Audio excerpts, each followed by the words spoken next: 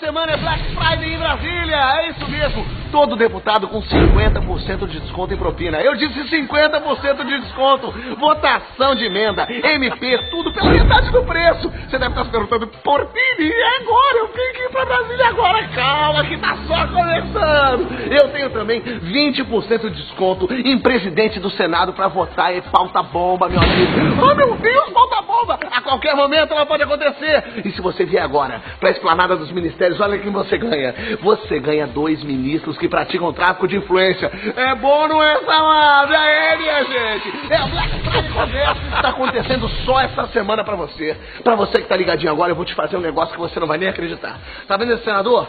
Levou o senador, levou dois assessores fantasmas. Cadê o assessor fantasma? Ele não tá porque ele é fantasma, Porfírio, é isso mesmo.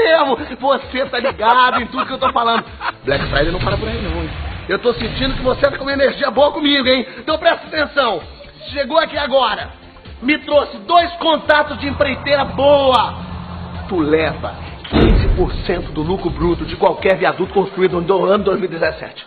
Eu tô falando isso pra você, ano 2017 é teu. 15%. Por fim, por fim, eu vou ficar rico, é claro, é claro que vai. É por isso que é só aqui, na Black Friday. Tá querendo o quê? Tá querendo governador carioca? A gente tem em liberdade, tem preso, tem em condução coercitiva. A gente tem de tudo um pouco. Tá sendo honesto, tá perdendo tempo.